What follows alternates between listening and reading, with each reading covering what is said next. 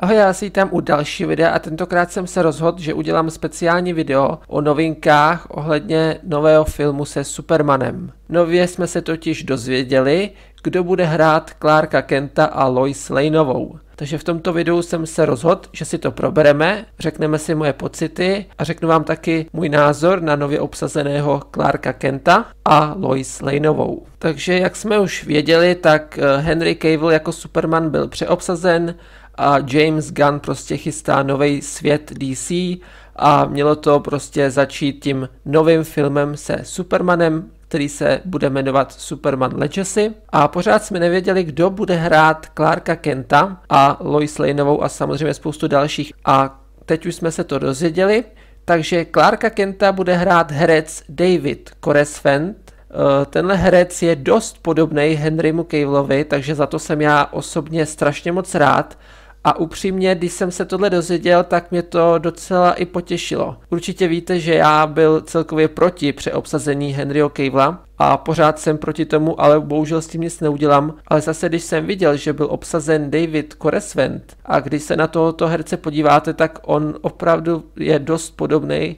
tomu Henrymu Cavillovi. Takže za mě osobně je to hodně dobrý rozhodnutí a jsem na tohoto herce fakt hodně zvědavý.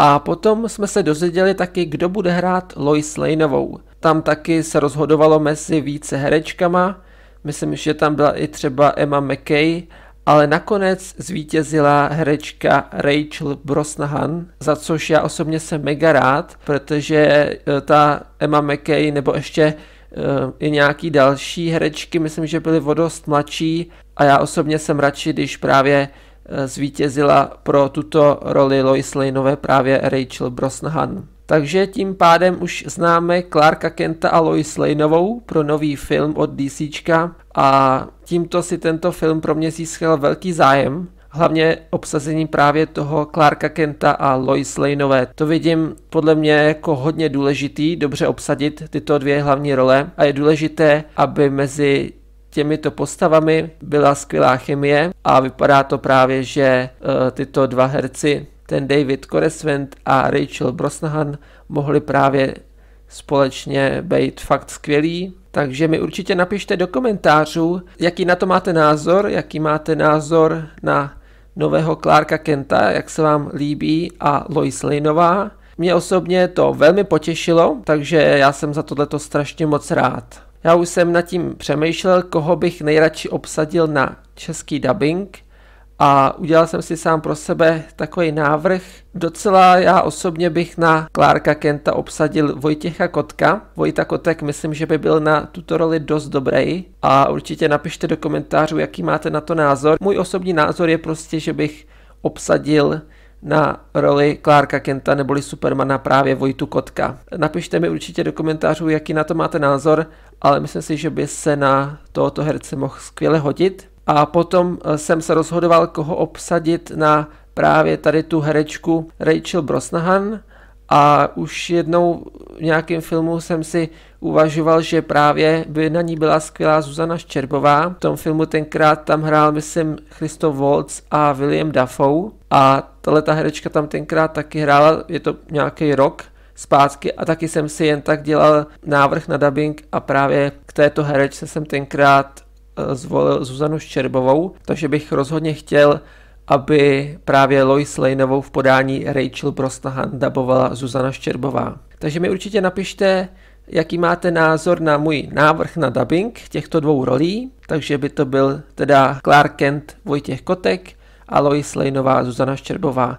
Napište mi do komentářů, jaký na to máte názor. Myslím si, že tyto obě spojení by mohly být fakt skvělý. Já prostě vždycky, když Eh, sleduju nějaký novinky o filmech, tak si dělám eh, takový moje návrhy na dubbing, protože mě ten dubbing fakt neskutečně baví a fakt mě fascinuje ten dubbing. Je to něco, o co se fakt zajímám a ten dubbing pro mě dělá taky fakt hodně z toho filmu, takže je pro mě důležitý v každém filmu, aby ten dubbing byl naprosto skvělý, protože já, jak jsem už několikrát říkal, tak já Filmy v originále nesleduji, já je sleduji pouze a jenom s českým dubbingem. Takže já osobně jsem strašně moc zvědavý na tento film. Zpočátku jsem byl vůči tomuto filmu skeptický, když jsem se tenkrát dozvěděl to přeobsazení Henryho Cavilla, ale teďka, když to takhle vidím, tak tyto dvě hlavní role mě velmi potěšily, takže já doufám, že mě potěší i další role, které budou postupem času oznámeny. Jsem mega zvědavý, kdo bude hrát třeba Jimmyho Olsena nebo Perryho Whitea, po případě Lexe Luthora.